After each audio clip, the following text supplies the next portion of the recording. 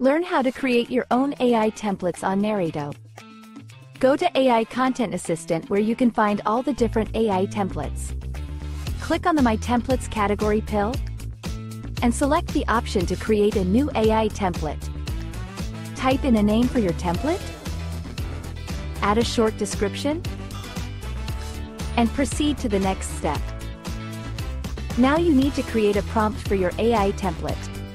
All the variables in your prompt, such as number of words, notes, URL or others, must be added within curly brackets. Then, choose the right input type for all the variables in your prompt. You can choose to add short or long text, URLs, and files depending on what your AI template needs. Once your detailed prompt with variable input types is ready, save the created AI template. You can now test the newly created AI template to see if it gives the desired output. Add all the variables you've included in the prompt, like words, notes, or others, to their respective fields and run your test.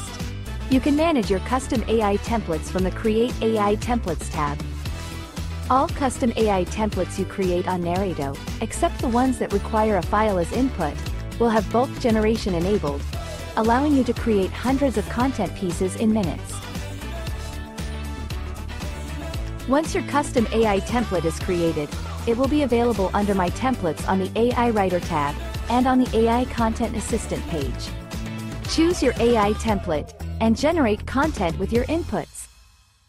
To bulk generate content using a custom AI template, simply click on Bulk Generate at the bottom, upload a CSV file with the inputs and click on Bulk Generate.